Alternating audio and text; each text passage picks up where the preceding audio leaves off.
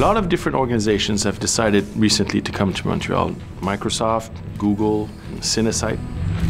When Google decided to set foot here in Montreal, it's because it recognized the talent there was.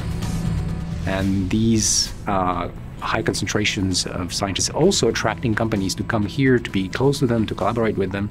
So this is really giving something special to, to Montreal compared to other big cities. So more and more what we're seeing is that the graduates, once they finish their university degrees, um, are interested in staying in town rather than moving to California or New York. They're staying in Montreal because the quality of jobs that are available. One of the interesting statistics of the last year was that um, Quebec generated more jobs combined, you know, 86,000 jobs than all other nine provinces combined.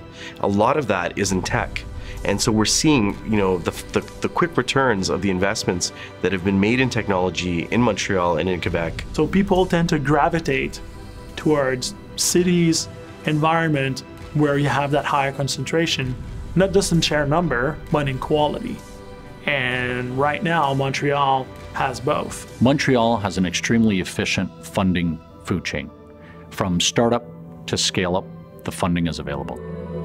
A very supportive environment. I think both the state and the city is very supportive.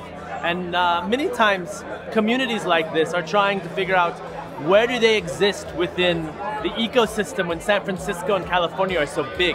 And I think that uh, if you just look around, Montreal has figured it out pretty well.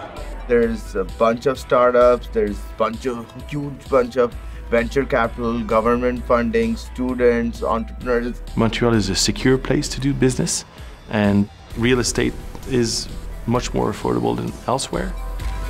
We have a lot of space and therefore the organizations were able to build data centers here at very low costs. Capital that is available, the technology and the talent that is also available, and then you add on top of that the fact that Montreal is a very open city. And diversity is, is extremely important in technology because it fuels innovation.